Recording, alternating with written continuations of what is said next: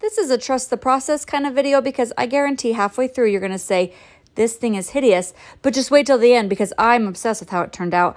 I got all the main supplies from the Dollar Tree. You actually need four bowls, two sets. Um, I have a smaller size and a bigger size, and then I'm just gluing them with E6000 to make little dome shapes. And then I'm gluing those together, and then I'm going to harm this little bunny because I need his ears. I'm just going to cop snip those right off and then I'm going to hot glue those to the bowl and then I'm going to spray paint it green. And this is where it's like, ooh, those ain't so cute.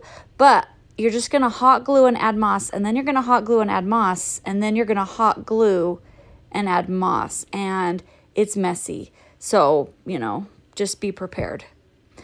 Um, see, there's the mess. Made a little ribbon. I added a cute little nose. Yeah, see? I told you, they turned out cute.